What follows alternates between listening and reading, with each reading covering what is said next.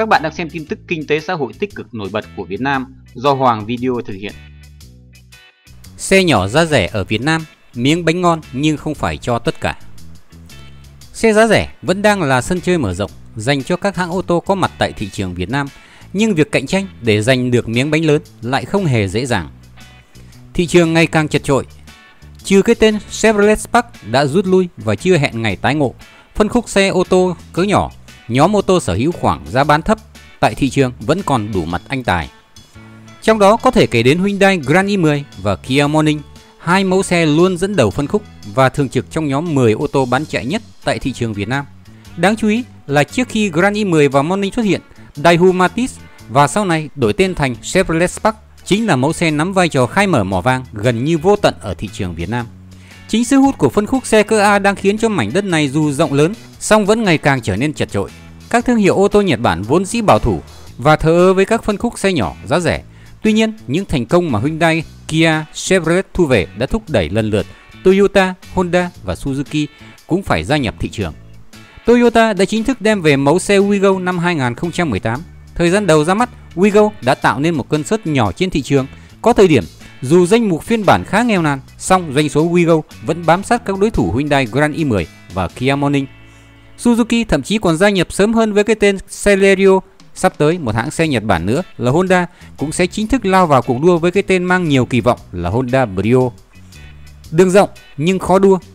Theo thống kê, hiện tại tỷ lệ sở hữu ô tô tại Việt Nam vẫn chỉ khoảng 20 xe cho 1.000 dân, thấp hơn rất nhiều so với ngay cả các nước trong khu vực.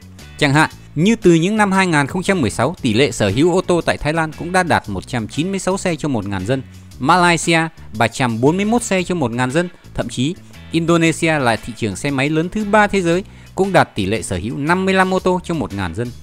Cùng thời điểm này, tỷ lệ sở hữu ô tô tại Việt Nam là 16 xe cho 1.000 dân.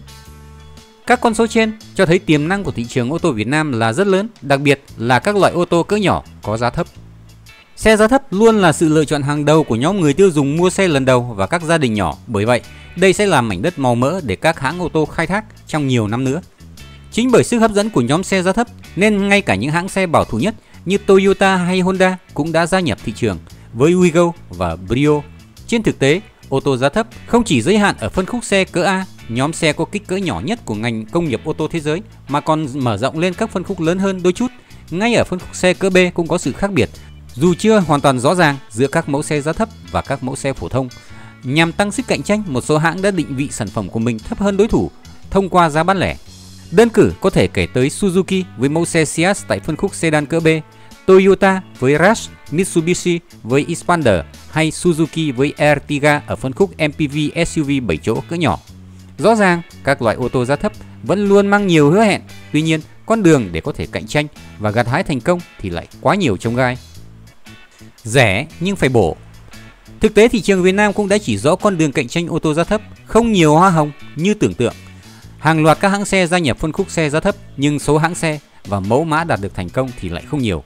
Ngay ở cả phân khúc xe cỡ A, nhiều mẫu xe gia nhập thị trường nhưng cuối cùng dù có giá bán thậm chí thấp hơn đối thủ, song doanh số vẫn rất eo uột. Khi ra mắt thị trường vào tháng 8 năm 2017, Suzuki Celerio sở hữu giá bán lẻ gần như thấp nhất trong phân khúc, thế nhưng sau chưa đầy một năm, Celerio gần như mất hút. Mức sản lượng mà mẫu xe này đạt được hàng tháng rất ít ỏi. Thậm chí, tân binh Toyota Wigo mới gia nhập thị trường hồi giữa năm ngoái cũng không thể cạnh tranh song phẳng với các đối thủ. Lợi thế của Wigo là thương hiệu, là niềm tin vào độ bền và tính kinh tế. Thế nhưng, sau một thời gian ngắn tạo nên cơn sốt nhẹ, doanh số Wigo cũng bắt đầu giảm dần. Khi mang Jazz về Việt Nam, Honda cũng đã đặt rất nhiều kỳ vọng. Nhưng rồi, sau vài tháng, Honda Jazz rơi vào cảnh ế ẩm và thậm chí đã có thông tin Honda Việt Nam đang tính bài chuồn cho mẫu xe giá thấp này. Dạo một vòng, thị trường có thể thấy trong một loạt các mẫu xe giá thấp thì mẫu xe rơi vào cảnh eo uột là khá nhiều. Đổi lại, những thành công về doanh số lại chỉ dồn vào một số ít các mẫu xe như Hyundai Grand i10 và Kia Morning ở phân khúc xe cỡ A, Toyota Vios và Hyundai Accent ở phân khúc xe cỡ B. Vậy thì, điều gì đã tạo nên sự khác biệt? Ngoài yếu tố về giá, điều người tiêu dùng ô tô Việt Nam trông đợi là những mẫu xe có giá thấp phải có độ bền và tính kinh tế cao. Đồng thời, một yếu tố vô hình nhưng cũng rất quan trọng nữa là giá trị bán lại phải lớn.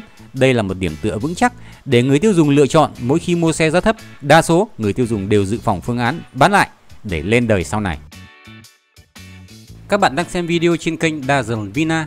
Chúng tôi luôn đem đến cho các bạn những thông tin bổ ích và lý thú với hình ảnh minh họa sắc nét và đẹp mắt. Các bạn hãy đăng ký kênh và chia sẻ bài để kênh được phát triển hơn nữa. Chúc các bạn lái xe an toàn, vui trẻ, hạnh phúc và thành công.